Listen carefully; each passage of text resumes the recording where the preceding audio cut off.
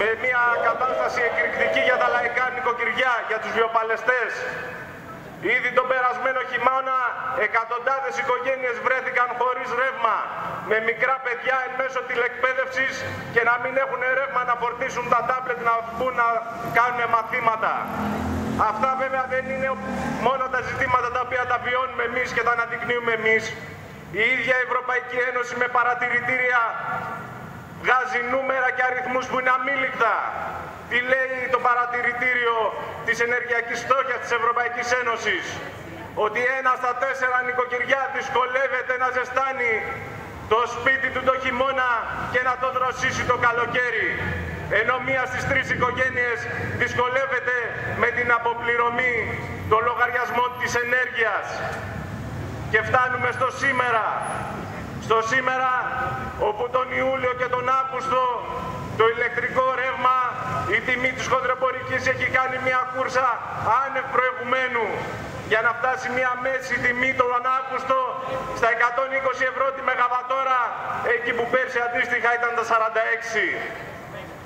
Τώρα θα μου πείτε, είδε κανείς ακόμα το λογαριασμό φουσκωμένο; Θα έρθουν οι εκαθαριστικοί τώρα συνάδελφοι και θα δούμε όλοι πώς θα πληρώσουμε το μάρμαρο όπου κάτω από τον τίτλο ρήτρα προσαρμογής θα χώσουν ένα χαράτσι για να μην χάσουν οι πάροχοι ενέργειας τα κέρδη τους αλλά να τα μετακυλήσουν στο οικιακό τιμολόγιο.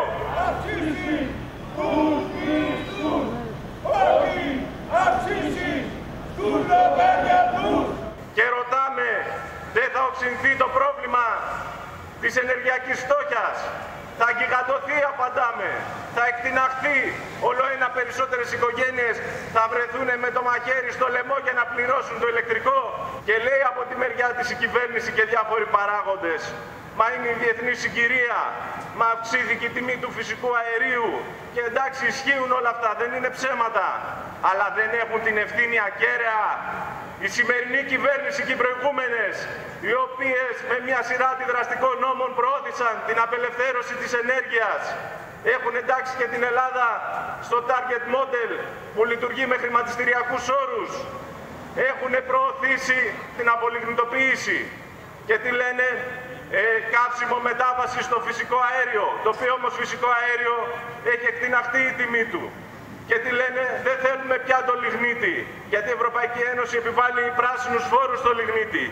Και κλείνουν τις λιγνητικές μονάδες, που εδώ πέρα να πούμε ότι ο λιγνίτης ήταν το εγχώριο καύσιμο, το φθηνό εγχώριο καύσιμο, το οποίο έχουν βάλει στόχο μέχρι το 2023 να ξεμπερδέψουν μαζί του και να πληρώνουν με το πανάκριβο εισαγόμενο φυσικό αέριο. Δεν είναι πολιτικές επιλογές όλες αυτές πολιτικές επιλογές οι οποίες προωθούν την κερδοφορία στον τομέα της ενέργειας και μετακυλίουν το κόστος στον εργαζόμενο, στο βιοπαλαιστή, στον αυταπασχολούμενο. είναι αγαθό, πρέπει να νίκει στο λαό.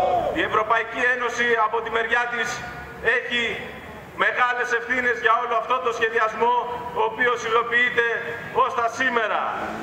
Παράλληλα, ενώ στον τομέα της ενέργειας γίνεται μεγάλος λόγος για τις ανανεώσιμες πηγές ενέργειας, πράσινη ανάπτυξη το τυκλοφορούν, πρέπει να έχουμε υπόψη μας και στο εξής, πέρα από το ότι είναι πανάκριβες, πέρα από ότι τις πληρώναμε τόσο καιρό μέσα από το λεγόμενο ΕΤΜΕΑΡ, το ενιαίο τέλος, τέλος μείωσης εκπομπής αερίων ρήπων, χρηματοδοτούσαν απευθείας οι εργαζόμενοι την εγκατάσταση των ΑΠΕ, φαίνεται και πόσο πεπερασμένο είναι το παραμύθι με τις ΑΠΕ.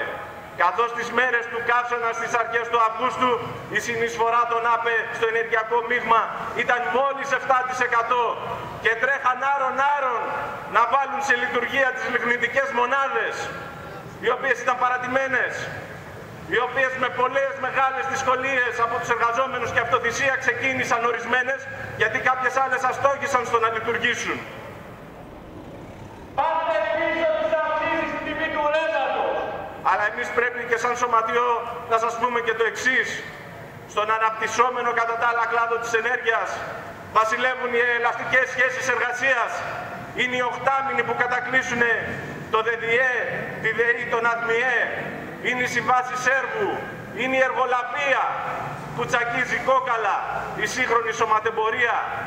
Είναι οι συνάδελφοι οι οποίοι δουλεύουν με μπλοκάκι, με παροχή υπηρεσιών και επίκειται μεγάλος σεισμός στις εργασιακές σχέσεις στους μεγάλους ενεργειακούς ομίλους καθώς κάτω από τον τίτλο «Πράσινη στροφή» αυτή η στροφή θα πετάξει πολλούς εργαζόμενους οριστικά εκτός εργασίας.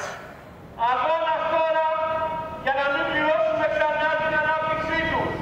Κινητοποιούμαστε και διεκδικούμε να μην περάσουν οι αυξήσεις στα τιμολόγια.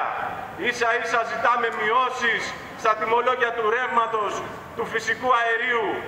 Ζούμε στο 2021. Ο λαός πρέπει να έχει πρόσβαση σε ποιοτικές υπηρεσίες υγείας, ενέργειας, τηλεπικοινωνιών, μέσων μαζικής μεταφοράς. Είναι όριμες οι συνθήκες να έχουμε πρόσβαση σε υπηρεσίες ε, υψηλής ποιότητας, αλλά συνάμα να είναι και φτηνές και προσιτές για το λαό και όχι ένα πανάκριβο εμπόρευμα όπως έχει καταντήσει να είναι σήμερα στον καπιταλισμό για να θησαυρίζουν λίγοι. Λέμε ότι πρέπει να μειωθούν οι ειδικοί φόροι στα ενεργειακά προϊόντα. Λέμε ότι κανένας βιοπαλαιστής, κανένας εργαζόμενος δεν πρέπει να βρεθεί με κομμένο το ρεύμα, με κομμένο το φυσικό αέριο, κανένας επαγγελματοβιοτέχνης. Επίσης, έχουμε αιτήματα για τους πρόσφατα πυρόπληκτους, οι οποίοι πρέπει να έχουν δωρεάν ρεύμα για το επόμενο διάστημα και να παραγραφούν οριστικά όλα τα χρωστούμενα τα οποία έχουν σε τέτοια τιμολόγια ε, ρεύματος και φυσικού αερίου.